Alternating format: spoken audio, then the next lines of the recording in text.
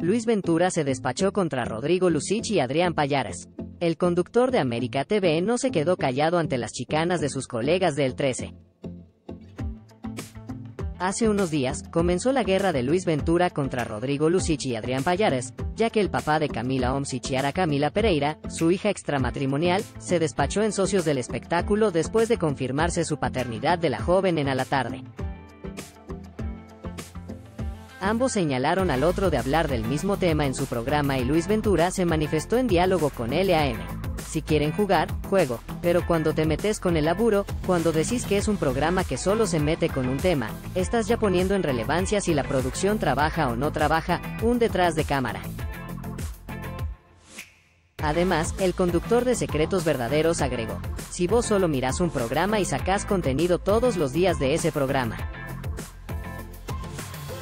Luego, Luis Ventura reconoció, no me parece mal que planten el tema y que alguien se haya enojado con nosotros, la devolución me pareció mal porque están denigrando y de alguna manera mortificando a laburantes y colegas de ellos.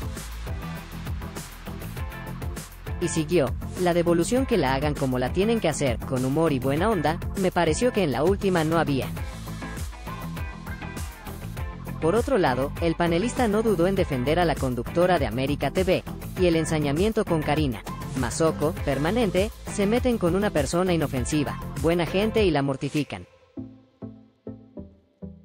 Yo también puedo empezar a jugar y hacer humor, sé hacerlo. Hay conductores por todos lados, ¿por qué no buscan en el canal de ellos lo mismo que buscan en Karina Mazoco? Comentó Picante.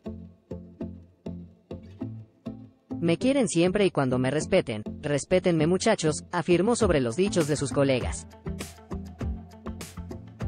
Y cerró.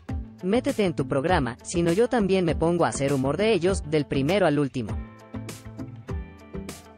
Yo también juego a esto hace años.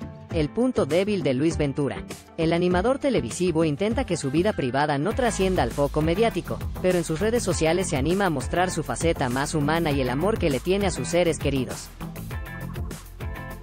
Esta vez, su madre fue la protagonista de un tierno posteo desde su cuenta oficial de Instagram. Vieji, 103 años. Solo gracias, expresó el periodista de espectáculos al publicar imágenes de sus distintas etapas en donde estuvo acompañado por su progenitora. Además, no es la primera vez que comparte una foto de la mujer, ya que en el Día de la Madre también la llenó de elogios. Vieji. ¡Qué madre, qué mujer! Inigualable, por supuesto, muchos ya conocen la historia de vida de su hijo, Antonito, quien padece autismo y frecuentemente el conductor comparte con sus fanáticos los momentos juntos, sus progresos en el tratamiento, como así también los altibajos en su salud.